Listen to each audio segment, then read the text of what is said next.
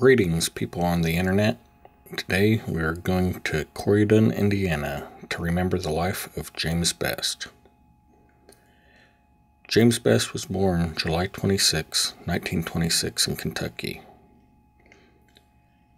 His boyhood home is here in Corydon, Indiana, at 346 East High Street. It is marked with a sign that says Home of James Best.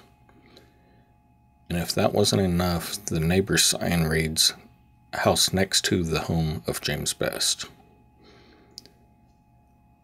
Over his life, he would be in television, film, stage, a voice actor, as well as a writer, director, acting coach, artist, college professor, and a musician. According to the Internet Movie Database, he has 188 credits to his name, the most notable being Sheriff Rosco P. Coltrane on the Dukes of Hazzard TV show.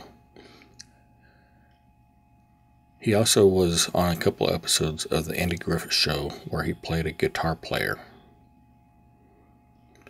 In 1959, he was in a movie, Attack of the Killer Shrews, as Captain Thorne Sherman 53 years later, he would reprise his character in the sequel Return of the Killer Shrews, where he returns to the same island.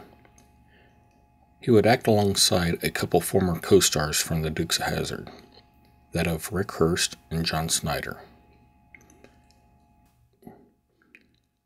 There is one clip in the movie of Return of the Killer Shrews where there is a Dukes of Hazzard reunion the three are talking about living in Georgia about 30 years ago. The clip is only about a minute long, but is a nice tribute to the Dukes of Hazzard. James Best passed away on April 6, 2015, in Hickory, North Carolina.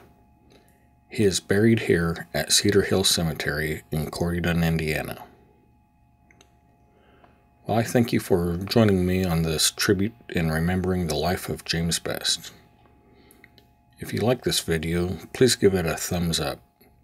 And if you, thanks for watching and we will see you next time.